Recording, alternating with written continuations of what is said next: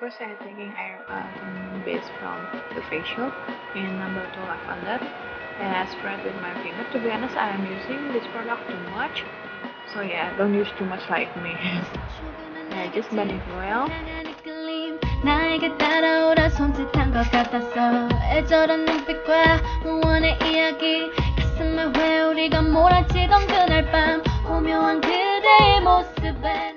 And next move the foundation here. I'm using my other foundation. This foundation have like a good coverage, very good coverage, and make my skin more flawless. And I just it with some sponge that I get from Innisfree.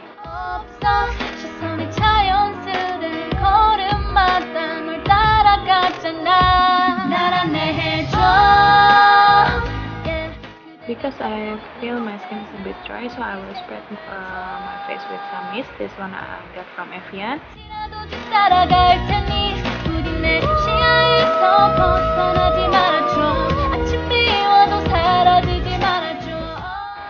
For under eye area, I'm using concealer. This one from the Face Shop Dual Concealer, and I will use the stick one, and I will blend it well with my finger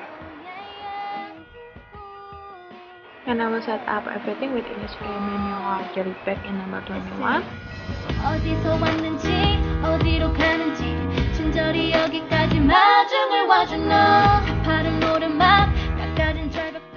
Move to eyebrow here. I'm using drawing eyebrow pencil in brown color from the Etude House.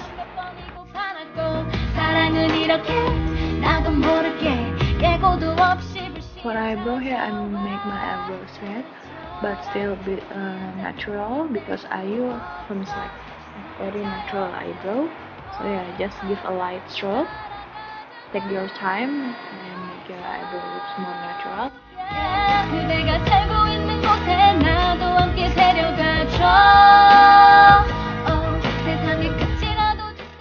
Next I will arrange my eyelashes.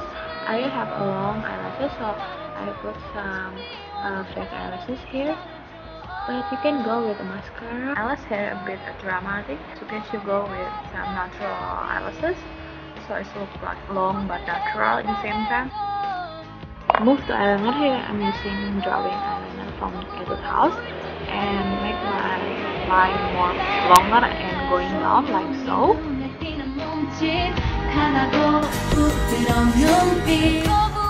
Move to lip here. I'm using two lip tint, this one from Etude House and on top I will be using a lip tint from Innisfree.